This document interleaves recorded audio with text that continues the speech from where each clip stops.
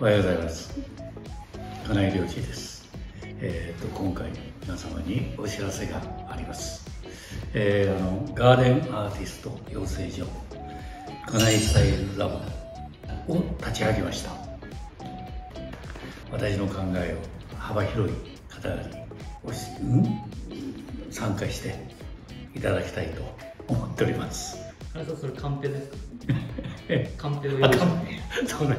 長えもん文章。あれですよね。以前一度ちょっとお知らせした講座という形式が、まあ、本格的に始まる。そうです。はい。まああの一応ですね。できるだけ幅広くいろんな方で庭に興味のある方に進めていきたいと。これ今回は庭師の方だけじゃなくて皆さんがっていうことなんですかそうですね。庭好きの、まあ、自分で作りたいとか興味ある方が、まあ、初級編という形で今後中級上級という形で設けたいと思っております、はい、終了書を出して、まあ、家内流の庭を皆さんが作ってもらいたいと思っております。いつから？えっ、ー、と5月のですね27日から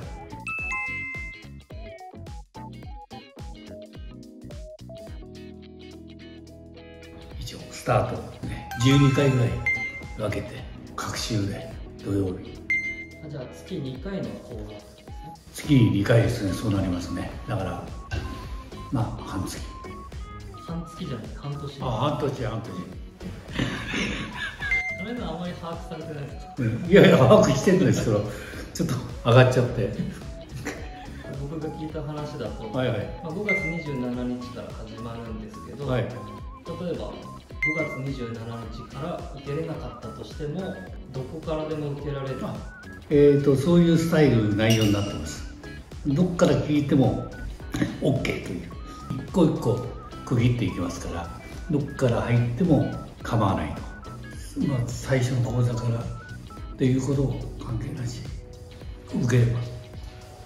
どんな形でもかあの講座を言ってん。か分かんなくなっちゃうじゃあまあどこからでも受けられる？どこからでもはい。講座の形式としては対面で？あ対面とオンライン。でも OK でございます。はい。自分の都合で選べるという感じになっております。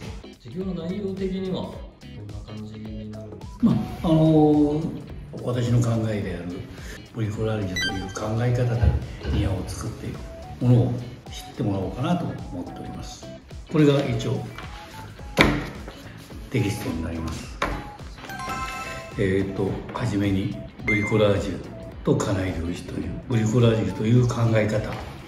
であとやっぱり我々の仕事は植物が欠かせないんでまあ植物のステージとなるもの廃材の見方活用法あとデザイン画の描き方チャイルドガーデン。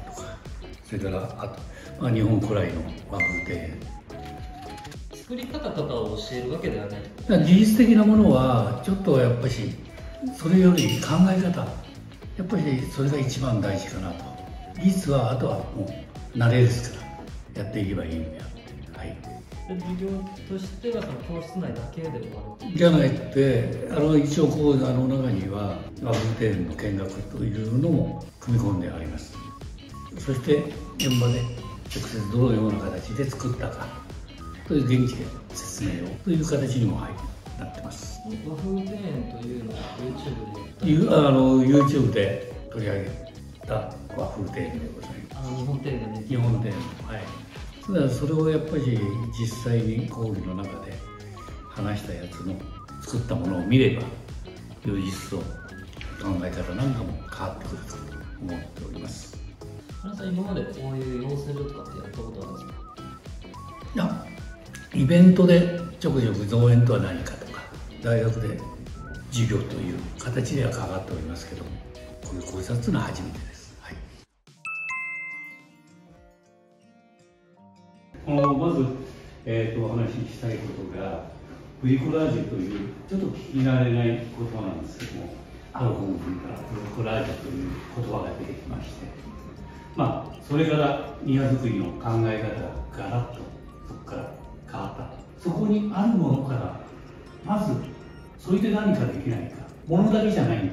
あらゆるものをこう作れないかという考え方。結果じゃなくしてその作った過程が非常にそのいろんなことを考えいろんなことを自分の中でこう試行錯誤していく。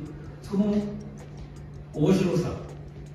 過激内外そんでこの鉄筋それから流木からであ流氷されたいろんな海の石なんかをまあディスプレイした形でこの場合もう流木のそのまんまのやつを合わせてまあお花と同じでそれほど加工しないで自然という環境の中ではもう一つずつの同じ経路がないんでいくら図面で書いてあって同じ形の、あのー、石はございません何か皆様に質問があれば。